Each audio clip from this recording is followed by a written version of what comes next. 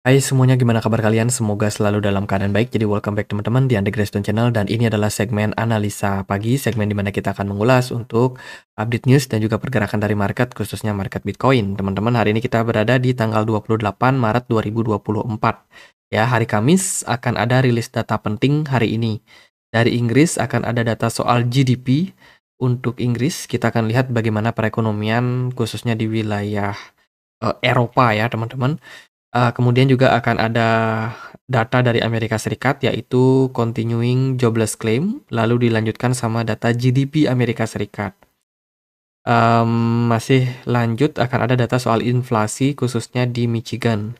Teman. Jadi ini beberapa rilis data yang akan kita dapetin di perdagangan hari ini. Yang paling penting adalah news besok sih menurut saya, yaitu dari data PCE inflation Amerika Serikat. Ini merupakan data yang sering sekali digunakan sebagai acuan oleh Federal Reserve atau Bank Sentral Amerika untuk menentukan kebijakan apakah hubungan harus dinaikkan lagi, dipertahankan atau diturunkan.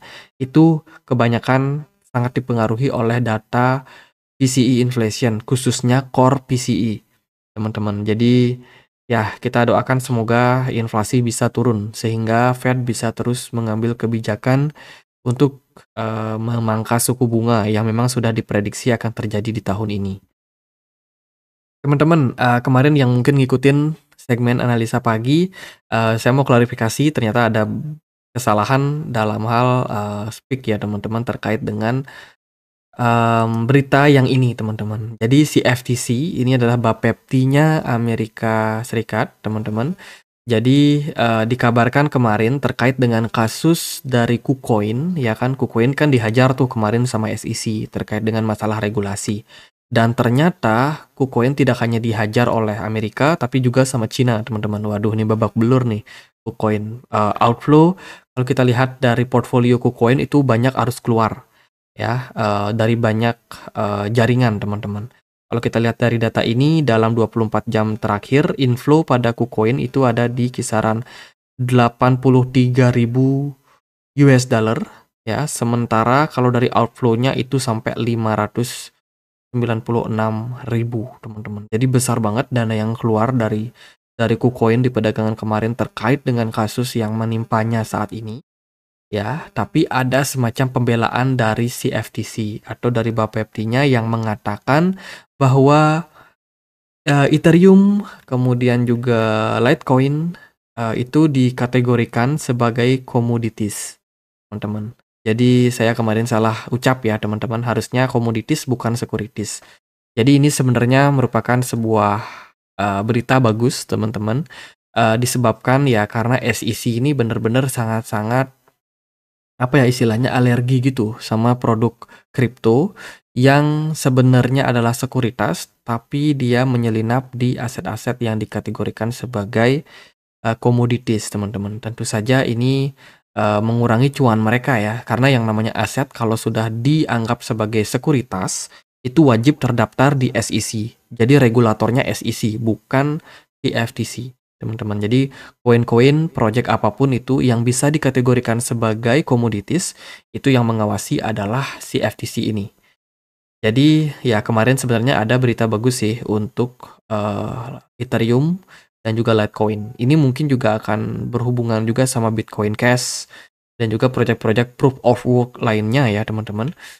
Jadi itu uh, sorry banget kemarin saya salah uh, dalam hal pengucapannya. Kemudian teman-teman uh, kasus dari dari apa namanya KuCoin ini masih berlanjut ya, masih masih dalam proses penyelidikan. Teman-teman, kemarin ada salah satu komentar yang cukup menarik.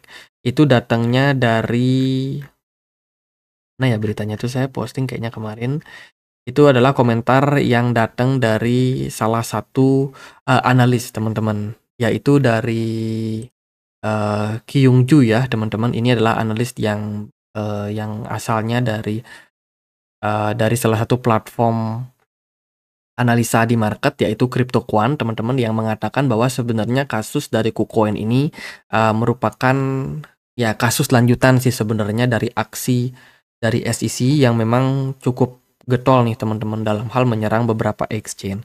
Kalau teman-teman ngikutin kasusnya secara jangka panjang memang sudah banyak sekali exchange yang uh, ters ter apa ya, bisa dibilang, uh, didakwa atau dituduh sebagai sekuritas yang tidak terdaftar. Kayak contohnya kan kemarin Binance, terus Coinbase, berlanjut ke Kraken, Gemini, dan sekarang ya KuCoin gilirannya teman-teman. Jadi ini adalah beruntut ya, berun runtutan yang masih belum selesai teman-teman. Dan ini kemungkinan uh, bakalan baik-baik saja sih menurut saya buat KuCoin ya. Karena KuCoin sendiri itu terdaftar di banyak uh, sebenarnya sih KuCoin ini adalah exchange uh, internasional teman-teman. Jadi dia memang tidak terdaftar di di negara mana pun ya teman-teman. Dan alokasi daripada project dari KuCoin ini tersebar di Amerika Serikat, di Amerika Selatan, kemudian juga di Afrika, di Australia, bahkan di negara-negara Asia pun juga, teman. Tapi berhubung karena ada kasus seperti ini ya mungkin fund-nya akan memberikan impact terhadap outflow dan inflow dari exchange KuCoin sendiri. Jadi sebenarnya tidak langsung berhubungan sama market kripto apalagi Bitcoin. Itu sih. Jadi fund yang terjadi uh, mungkin mengkhawatirkan buat teman-teman yang hold aset kalian di KuCoin, tapi kalau buat aset kripto sih harusnya nggak terlalu memberikan impact ya. Itu, kemarin juga ada lanjutan update dari kasus Coinbase yang kabarnya, uh, itu sudah mendapatkan beberapa kesimpulan dari hakim, teman-teman. Jadi beberapa gugatan dari SEC itu di-approve ya, dan juga beberapa gugatan atau yang yang berhubungan yang menguntungkan dari Coinbase juga mendapatkan approval. Seorang hakim federal di Manhattan pada hari Rabu mengatakan bahwa gugatan, uh, eh, SEC terhadap Coinbase dapat dilanjutkan, tetapi menolak satu klaim yang dibuat oleh regulator terhadap bursa mata uang kripto terbesar di Amerika Serikat itu. Hakim Distrik Amerika Serikat uh, mengabulkan sebagian mosi dari Coinbase dan menolak gugatan dari SEC yang menuduh perusahaan tersebut melanggar aturannya. Meskipun keputusan tersebut merupakan kemenangan parsial bagi Coinbase, dalam pertarungan pengadilan yang panjang dan juga mahal, keputusan tersebut sebagian besar mendukung pendekatan dari SEC. Jadi saat ini hakim itu lebih condong mendukung SEC. Kalau kita persentasekan ya sekitar 55 banding 45. Jadi sedikit condong ke SEC ya dari hakimnya sendiri. Tapi masih akan terus berlanjut teman-teman, kita tunggu aja lanjutan kasus dari exchange-exchange yang mendapatkan gugatan SEC uh, Coinbase masih dalam sidang. Nextnya akan ada Binance yang sidang. Mungkin juga akan dilanjutkan sama Kraken, kemudian Gemini, uh, KuCoin juga teman-teman. Jadi ya siap-siap aja uh, dalam beberapa waktu ke depan mungkin akan ada narasi-narasi terkait dengan part tersebut. Ah, kalau kita lihat dari portfolio para hedge fund, manajer investasi yang kemarin itu banyak inflow masuk teman-teman, datang dari BlackRock ya, akumulasi besar-besaran terjadi pada BlackRock. Yang lebih besar lagi dua kali lipatnya dari BlackRock adalah Fidelity. Inflow-nya banyak banget masuk ke market teman-teman. Terus juga ada ARK Invest, uh, kemudian Invesco, dan juga Bitwise itu juga mendapatkan inflow yang lumayan gede di perdagangan kemarin. Artinya adalah ada yang serok. Ada, retail-retail yang masuk kemarin memanfaatkan FUD yang muncul pada market. Itu dari beberapa data, kemudian HSBC, Gold Token Goes uh, Live for Retail Investor in Hong Kong. Jadi ini berita terbaik datang dari uh, market Asia, teman-teman. Uh, HSBC, salah satu perbankan terbesar ya yang ada di Hong Kong, itu dikabarkan sudah siap untuk uh, melakukan apa ya namanya tokenisasi terkait dengan aset-aset uh, komoditis, teman-teman. Khususnya ya gold token ya. Ini real world asset uh, menargetkan tokenisasi yang bakalan mereka lakukan teman-teman untuk mentokenize gold ya.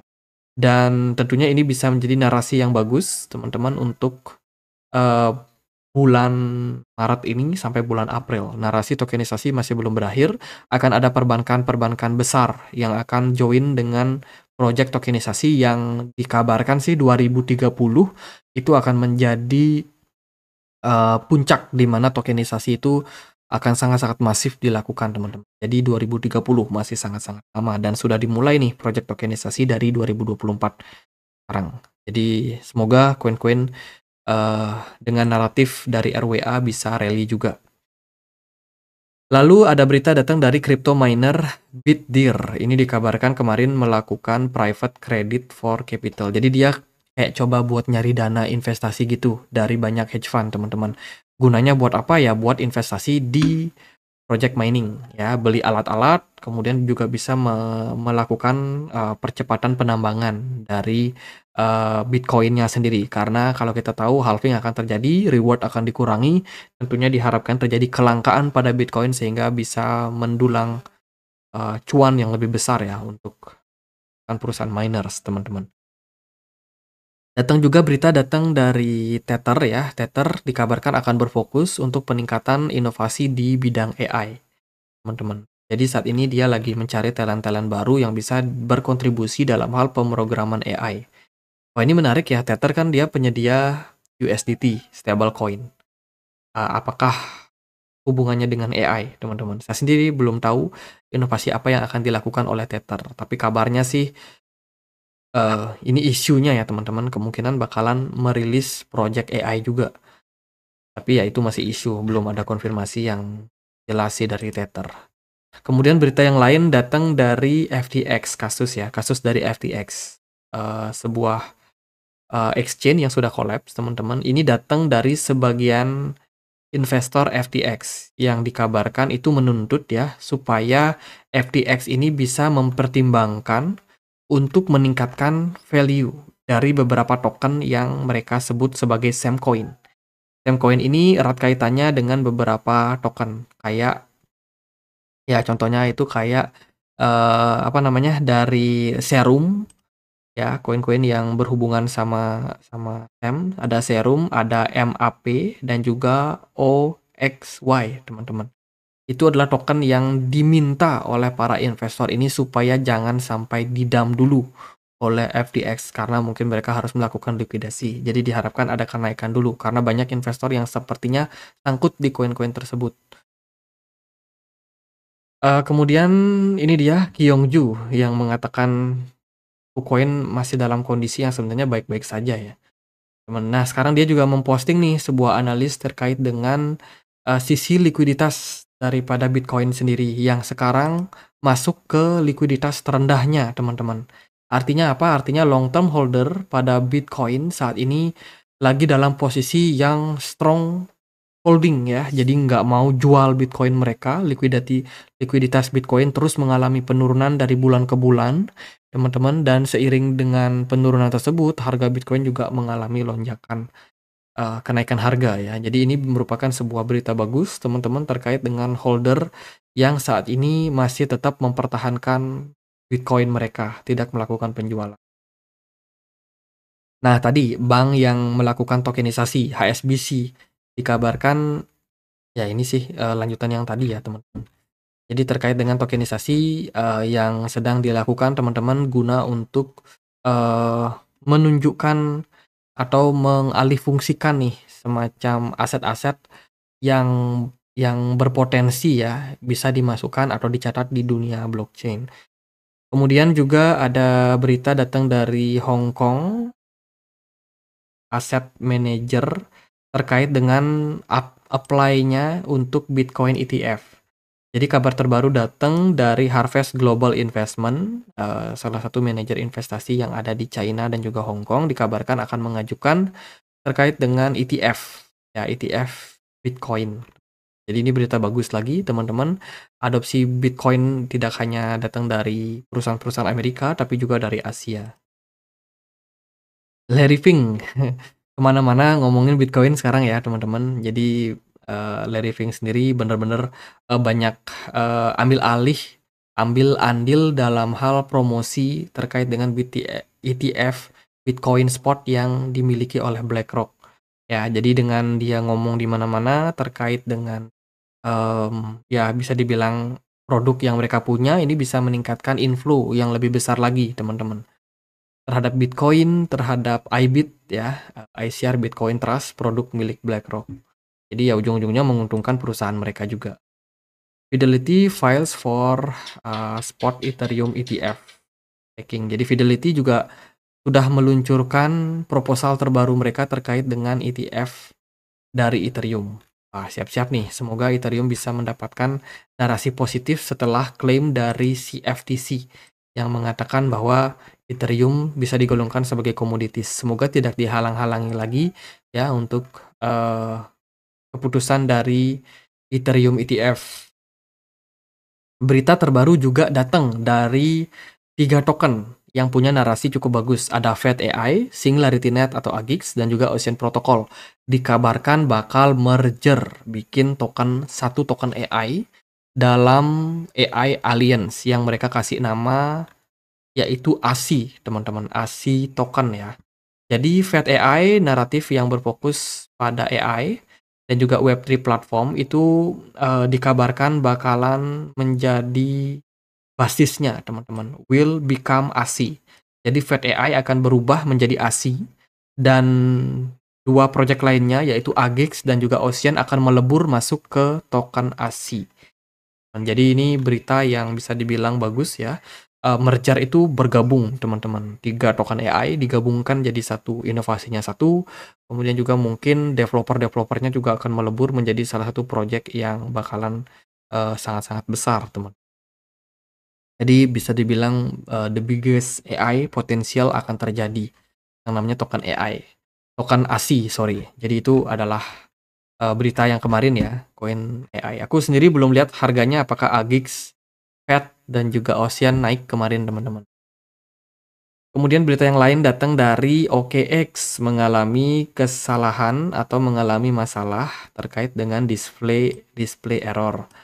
Ya, ini bikin investor panik nih pasti teman-teman. Dikarenakan karena OKX kemarin ada masalah technical glitch. Jadi eh, dana yang ditampilkan di aplikasi OKX Wallet ataupun OKX Exchange itu nol teman-teman sehingga aset mereka juga terbilang nol. Ini bikin investor panik sekaligus mereka tidak bisa melakukan transaksi, ya menimbulkan kerugian teman-teman. Ya ada-ada aja berita. Oke itu dari beberapa narasi dan juga news. Lalu gimana pergerakan dari Bitcoin? Di perdagangan kemarin Bitcoin mengalami koreksi, teman-teman. Ada volatilitas yang terjadi pada market ya. Market dari Bitcoin kemarin sempat naik sampai 71.000 tapi akhirnya kena selling pressure, kena tekanan jual yang menyebabkan harganya kembali turun, teman-teman. Jadi volume perdagangan Bitcoin kemarin cukup bagus dan juga smart money-nya mengalami penurunan yang lumayan. Overall sih menurut saya Bitcoin masih bakalan sideways korektif ya. E, jadi manfaatkan aja fase koreksi seperti ini buat teman-teman melakukan akumulasi. E, memang wajar ketika Bitcoin menjelang fase halving itu sering kali terjadi yang namanya koreksi teman-teman untuk mendapatkan akumulasi yang lebih besar ya. Jadi fase sideways pasti akan terjadi ya sideways yang cenderung korektif dan ini sudah terjadi pada beberapa fase pada Bitcoin sebelumnya. Jadi hal yang wajar teman-teman apa pun fundnya ada ini ada itu ada ini itu ya kan ada yang keluar ada yang masuk juga namun uh, tetap aja Bitcoin merupakan salah satu aset yang paling punya value saat ini banyak hedge fund yang juga udah masuk, dari narasi tersebut saja kita sebenarnya sudah tahu mana arah Bitcoin ke depannya dalam jangka waktu panjang. Jadi buat teman-teman yang baru masuk ke market kripto ya beginilah teman-teman, di mana news itu silih berganti ya. Kadang newsnya bagus, kadang jelek, tapi apa pun itu ya tetap aja teman-teman dalam jangka waktu panjang Bitcoin masih akan punya peluang yang cenderung uh, menanjak. Uh, itu sekarang kita lihat dari beberapa level support resistance. Maybe ada teman-teman yang planning untuk masuk. Kalau dari, kalau dari saya sendiri sih untuk saat ini ya resistance dari Bitcoin itu ada di kisaran 73.800. Itu adalah level all time high pada Bitcoin. Sementara area strong support itu ada di kisaran 66.000 something di mana level 66.000 adalah level support kemarin tuh Bitcoin mencapai all time high-nya di tahun 2021. Jadi bisa banget teman-teman jadikan sebagai tempat buat uh, eh, DCE.